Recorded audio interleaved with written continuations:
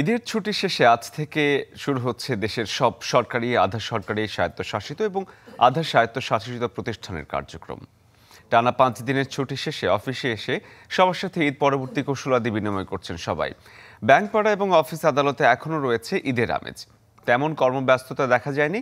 আজ থেকে আবার আগের নিয়মে সকাল নটা থেকে বিকেল পাঁচটা পর্যন্ত চলবে সরকারি অফিস আদালতের কার্যক্রম। এদিকে সকাল থেকে রাজধানীতে ফিরতে দেখা গেছে কর্মজীবী মানুষদের। বাস, ট্রেন ও লঞ্চে করে বাড়ি থেকে কাজের ঠিকানায় ফিরছেন অনেকেই।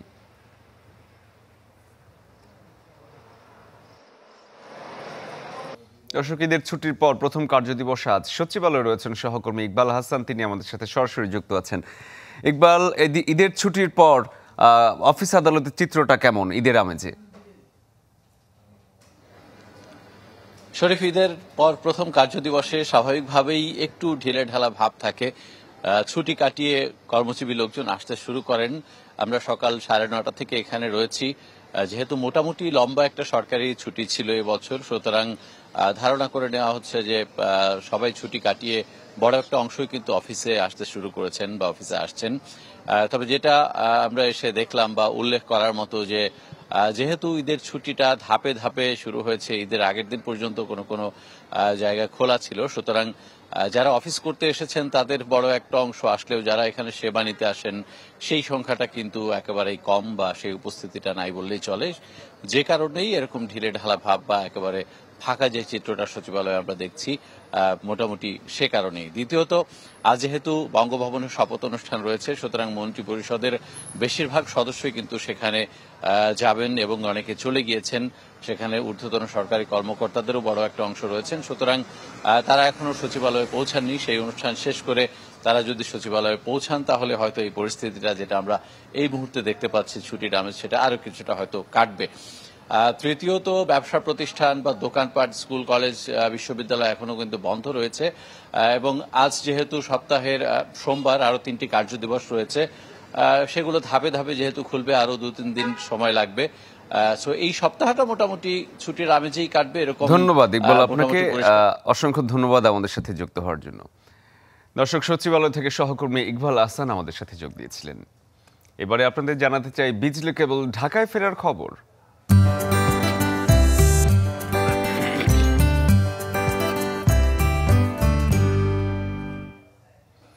পাঁচ দিন ঈদের ছুটির শেষে বাস, ট্রেন, লঞ্চ যে যেভাবে পারছেন রাজধানীর দিকে ছুটছেন। রাজধানীর কমলাপুর রেল স্টেশনে এই মুহূর্তে রয়েছেন সহকর্মী সম্রাট হোসেন। তার কাছ থেকে জানার চেষ্টা করব। সম্রাট সকাল থেকে কি পরিমাণ মানুষ আসলে ঢাকায় ফিরেছে? যেহেতু ছুটি শেষ ঈদের।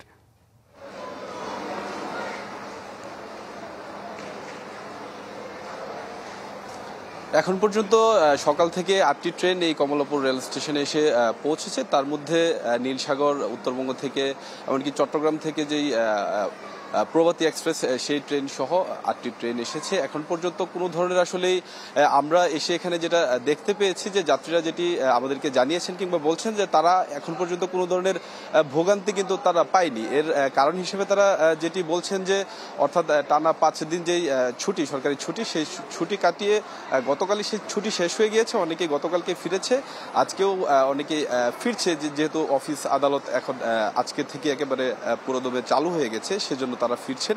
একই সাথে এখানকার রেল কর্তৃপক্ষ যে বিষয়টি জানিয়েছে যে তারা এই ঈদযাত্রাকে নির্বিঘ্ন করতে তারা একেবারে তৎপর রয়েছে। পাশাপাশি এখানে আমরা যে বিষয়টি খেয়াল করছি যে এবারের ঈদযাত্রাকে ঘিরে কিংবা কেন্দ্র করে যে যাত্রীদের যেই অন্যান্য বছরে যে দুর্ভোগের চিত্র আমরা দেখতে পাই, কিন্তু এবছর কিন্তু এখন পর্যন্ত আমরা এই কমলাপুর রেল স্টেশনে এসেছি যাত্রীদের সাথে কথা বলেছি। তারা যেটি জানিয়েছেন যে- এখন পর্যন্ত কোনো ধরনের দুর্ভোগ পায়নি। তারা স্বাচ্ছন্দ্যে আসলে এই ঈদ যাত্রায় তারা অংশ নিয়েছে। তারা পরিবার পরিজনের সাথে তাদের যে ঈদের যেই আনন্দ, সেটি উদযাপন করেই কিন্তু তারা রাজধানীতে ফিরছে। তো এই ছিল এখানকার এই মুহূর্তের সর্বশেষ পরিস্থিতি। সম্রাট সম্রাট ধন্যবাদ আপনাকে।